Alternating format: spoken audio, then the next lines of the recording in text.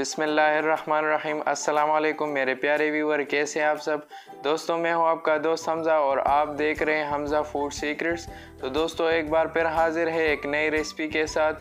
आज का हमारा रेसिपी है कि आप घर में जेली किस तरह बना सकते हैं। अपने प्यारे प्यारे बच्चों के लिए घर में जेली किस तरह बनाएँ, वो भी बाज़ार से कई गुना बेहतर। तो इस जेली में सबसे बड़ी बात यह है कि ये बहुत ही आसानी से बनता है, लेकिन बहुत ही मज़ेदार बनता है। तो आपने वीडियो की एक एक स्टेप को फॉलो करना है और वीडियो को आपने लास्ट तक देखना है ताकि आप घर में एक बेहतरीन जेली बना सकें।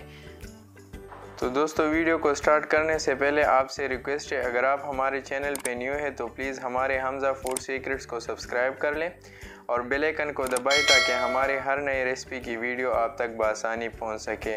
और आपने वीडियो की एक एक स्टेप को फॉलो करना है और वीडियो को लास्ट तक देखना है। ताकि आप घर में एक बेहतरीन जेली बना सकें। तो ज़्यादा टाइम वेस्ट नहीं करता और रेसिपी की तरफ़ चलते हैं।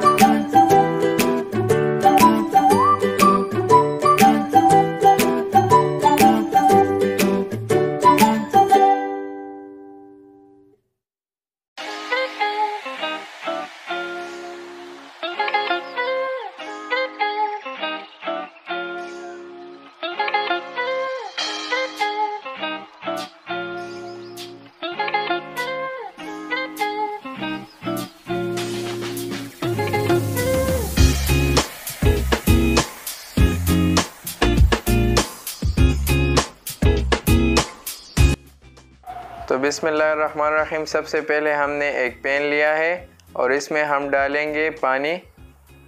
ये है हमारे पास एक कप पानी। इसमें हम टोटल दो कप पानी ऐड करेंगे। तो अब दूसरा कप भी हम डालते हैं। तो ये है हमारे पास दूसरा कप पानी। इसको भी हमने इसमें डाला और इसको अब हम अच्छी तरह से बॉयल होने तक पकाएँगे ताकि इसमें बॉयल आ जाए। इस पानी में आपने चीनी वगैरह कुछ नहीं डालना, सिर्फ़ इसको आपने बॉईल करना है। तो जब पानी बॉयल होता है तो हम चलते हैं। ये है हमारे पास जेली का एक पैकेट, जो रेफान कंपनी का है।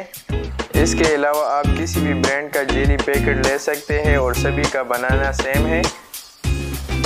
और इस जेली में बहुत सारे फ्लेवर आते हैं तो हमने स्ट्रॉबेरी का फ्लेवर लिया है। आप चाहे जो आपको पसंद है, वो ले लें। और ये हर एक जनरल स्टोर में इजीली अवेलेबल होता है। तो इसका रिटेल प्राइस जो है वो सेवेंटी रुपीज़ है। तो हमने पैकेट को खोला तो आप देख सकते हैं, इसमें शक्कर जैसी पाउडर है और पानी में भी बॉयल आ चुका है अच्छी तरह से।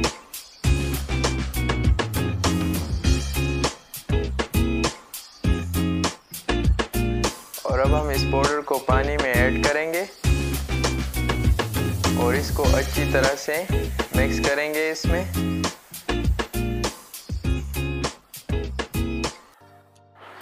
और इसी तरह से आपने इस पानी के अंदर इस सारे पाउडर को अच्छी तरह से मिक्स करना है, ताकि कोई भी चीज़ बड़ा ना रह जाए। और इसी तरह से आपने चम्मच हिलाना है।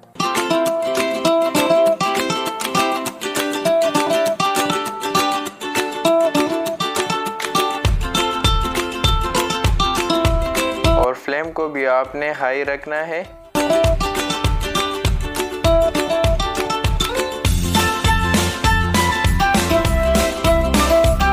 इसी तरह से आपने चम्मच हिलाना है।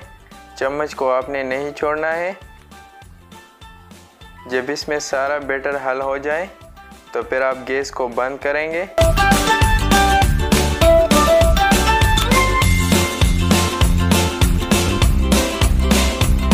माशाल्लाह, हमारा बैटर अच्छी तरह से तैयार हो गया। अब हम इसको एक ट्रे में शिफ्ट करेंगे। तो इसी तरह से हमने एक ट्रे लिया है, इसमें शिफ्ट करेंगे।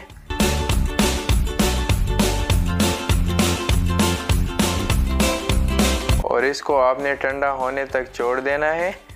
आप नॉर्मल रूम टेम्परेचर में भी ठंडा कर सकते हैं और फ्रीज़र में भी रख सकते हैं, जब ये जम जाए अच्छी तरह से। और ये है हमारे पास चीनी, यानी शुगर। ये बड़े बड़े पीसीज में है तो अब हम इसको अच्छी तरह से ग्रैंड करेंगे। तो ये है हमारे पास एक गिलास। और इसको आपने जूसर वगैरह में ग्राइंड नहीं करना, सिर्फ़ आपने इसको बारीक बारीक करना है।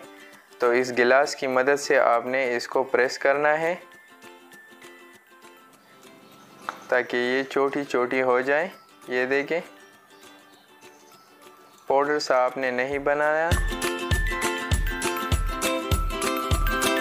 तो माशाल्लाह, हमारे जेली का भी टाइम पूरा हो चुका है और ये अच्छी तरह से जम गया। अब हम इसको कट करेंगे।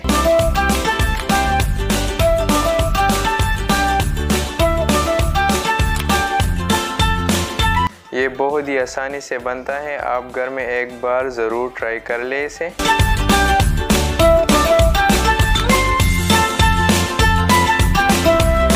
अभी मैं आपको दिखाता हूँ।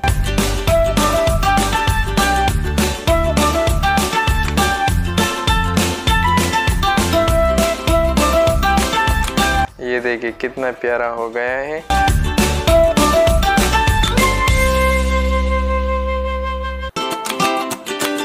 तो माशाल्लाह ये देखिए कितने अच्छी तरह से जेली हमारे बन गया और ये है हमारे पास चीनी, इसमें डेप्थ करेंगे।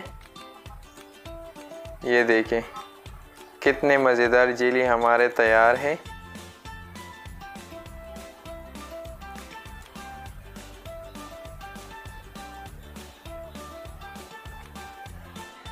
तो दोस्तों, ये थी हमारी आज की रेसिपी। अगर हमारी आज की रेसिपी आपको पसंद आई तो प्लीज़ हमारे हमज़ा फ़ूड सीक्रेट्स को सब्सक्राइब कर लें। और बेल आइकन को दबाएँ ताकि हमारी हर नई रेसिपी की वीडियो आप तक बसानी पहुँच सके। अगर इस वीडियो में आपको किसी भी जगह पे समझ ना आए तो प्लीज़ आप कमेंट सेक्शन में ज़रूर पूछ लिया करें। अगर और किसी चीज़ की आपको रेसिपी चाहिए तो प्लीज़ हमें कमेंट सेक्शन में बताएँ, इसकी रेसिपी भी हम आपको दे देंगे। तो इजाज़त दीजिए हमज़ा को, अपना बहुत सारा ख्याल रखें। नेक्स्ट वीडियो तक, तब तक के लिए खुदा हाफिज़।